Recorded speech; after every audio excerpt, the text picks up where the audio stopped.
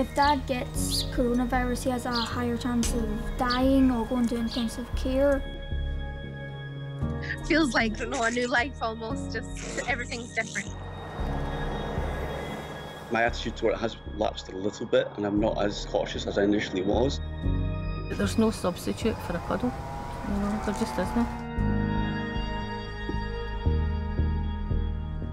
The Irwin family in Hamilton have been shielding together for 11 weeks now to protect Nige, who was diagnosed with a rare form of blood cancer four years ago.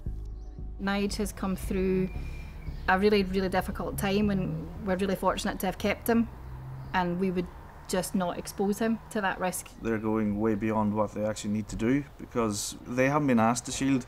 It's been advised that it's easier to shield as a family than it is as an individual because as an individual I would have to stay in my own part of the house and not have any contact with them. Do you miss your friends? Yeah. Hi, guys. it's coming now, said Busy Cow. Contact is something people on the shielded list are finding ways to adapt. Three year old Adeline Davidson from Alness in Easter Ross is waiting for a bone marrow transplant. Her life saving operation, which was planned just before lockdown, was cancelled at short notice. Her mum fears the coronavirus pandemic may cause further delays. Her condition could progress itself, or we could have to deal with an illness in between, you know, any sort of virus, never mind coronavirus, would make her very ill anyway. Adeline has been shielding with her mum, dad, and younger siblings for 15 weeks now. Before, we wouldn't have to worry about her checkups because they'd be home, home visits from nurses. So it's been more difficult us having to go into the hospital. Another huge difference is obviously I've had to take on more levels of care at home. The changing of the dresses I've had to do a lot more often and just keeping her well really. It's it's a lot harder just being contained. Keeping her occupied is a hard one as well.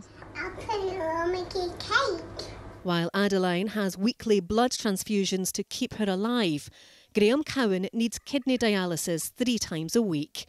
Before the pandemic, the 37 year old was an avid climber, but that's now on hold.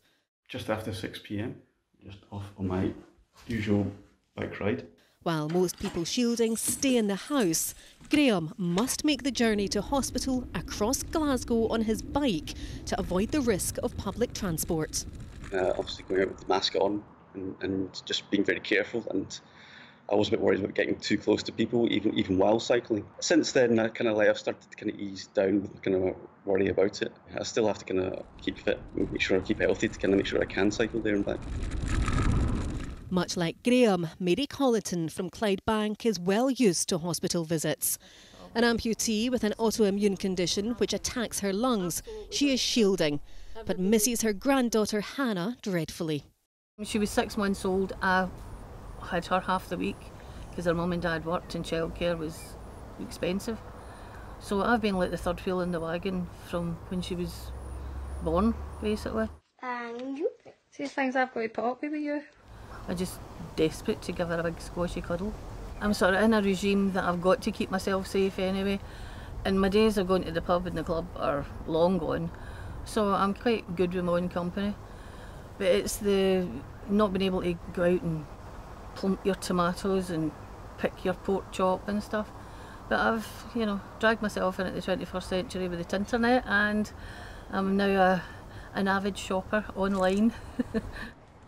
It's clear to see our parks, streets and roads are busier again as social restrictions have eased. But the message in Scotland is clear.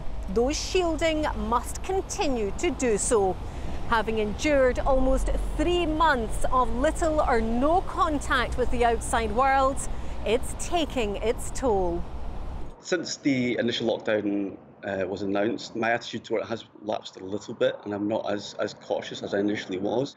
And I just worry that over time I will start to kind of venture out more because I, I feel I kind of need to. I think I just miss that, that, that kind of close personal contact, like a hug from a friend and that kind of thing. Make no bones about it, it's three of us in a house for it's 11 weeks today, so what, day 78? It may as well be day 11 to billion and two.